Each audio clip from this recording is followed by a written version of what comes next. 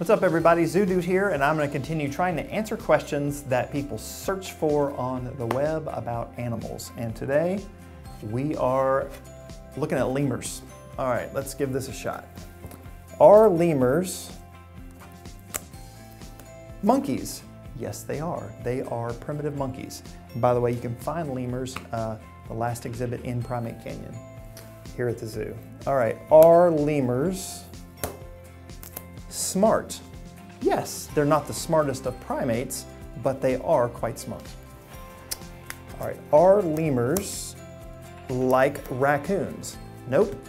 Uh, they're only like them in that some uh, lemurs, particularly the ring-tailed lemurs, have ring tails like raccoons.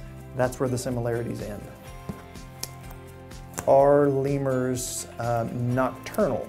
Um, primarily, no. There is roughly a hundred, little, I think a little bit over 100 species of lemur, um, and I know of one species uh, of nocturnal lemur that uh, the, the rest are diurnal. So you can see the mongoose lemur, which is nocturnal, in Animals of the Night.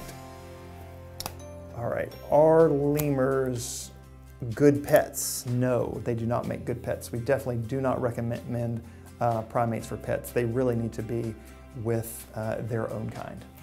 All right, that's what I know about lemurs.